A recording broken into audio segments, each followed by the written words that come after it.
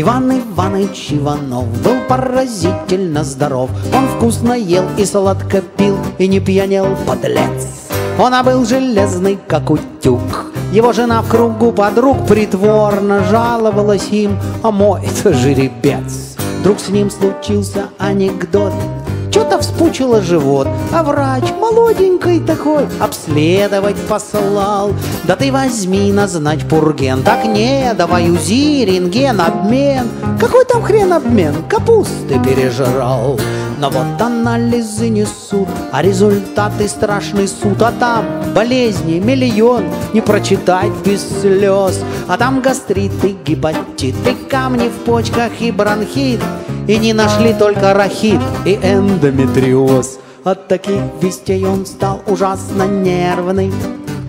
Аппетит пропал и по ночам не спится. На детей кричит, назвал супругу стервой. Не идет гулять, лежит и матерится.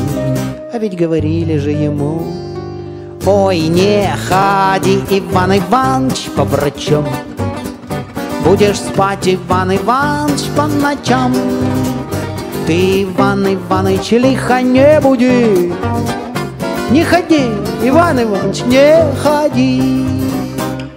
Ведь он здоровый был такой, ведь он подковы гнул рукой, а тут держится за левый бок. Ой, печень, мол, болит.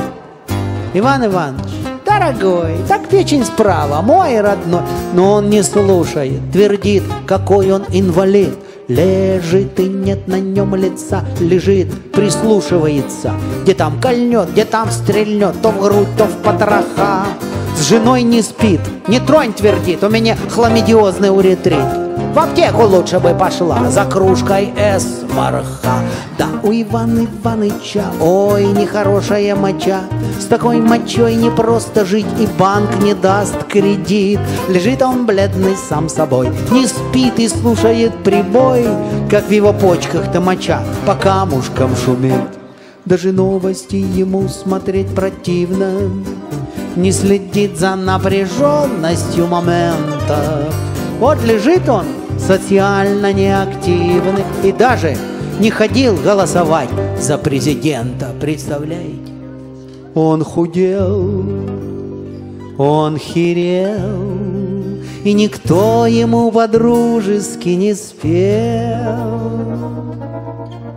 Ой, не ходи, Иван Иванович, по врачам, Будешь спать, Иван Иванович, по ночам, ты, Иван Иваныч, лихо не буди, Не ходи, Иван Иванович, не ходи.